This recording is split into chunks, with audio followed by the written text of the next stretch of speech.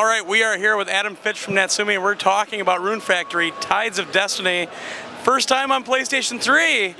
We finally get a new. First time the Rune Factory series uh, is on any PlayStation platform, so that's uh, we're excited about that. Awesome. So tell us about the game. Okay, well, again, this is a long line in uh, the Rune Factory series. In this particular one, you control uh, this little guy right here, um, Aden, and um, the plot of the game is his childhood friend, Son- uh, Sonja, as you see, the girl with the pink hair. She's gotten through uh, some, you know, happenstance, uh, mystery. She's gotten, her soul has gotten trapped inside uh, his body. So uh, the goal of the game is to try and find out why that happened and get her soul back in her own body and get everything back to normal. Sounds pretty normal. Yeah, yeah, yeah.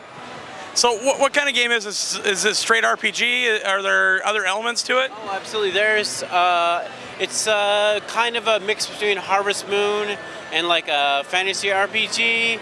So you can like craft things and make things. Um, but you also fight monsters at the same time. So let's do this. So I'm gonna, oh, I want to make a hat. So I got the ingredients to do that. Let's make, there, just made a hat. There you go. Um, but the main battle uh, aspect use the golem. I see we got our giant golem up over there.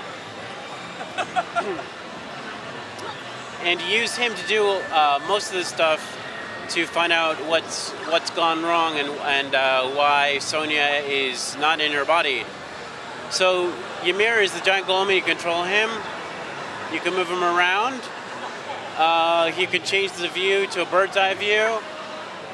Uh, let's see. So I got, I just got a request from a, a girl called Elena. Uh, she wants me to search here. So let's go over there. And so I'm traveling over there. So that's a faster way, much faster way to travel than just wandering across the uh, ocean. Gets me exactly where, where I want to go. In a pretty short time, it'll tell you exactly how much travel time in in-game time it takes. Uh, so yeah, we're almost there. Uh, and here we are. So, the, when the people tell you to go somewhere, the best thing to do is to pound the ocean to see if you can find some secrets. So let's pound the ocean. Uh, let's see, there we go. So the little flashy bit right there, that's where I want to go. I want to examine that. And let's see what we got here.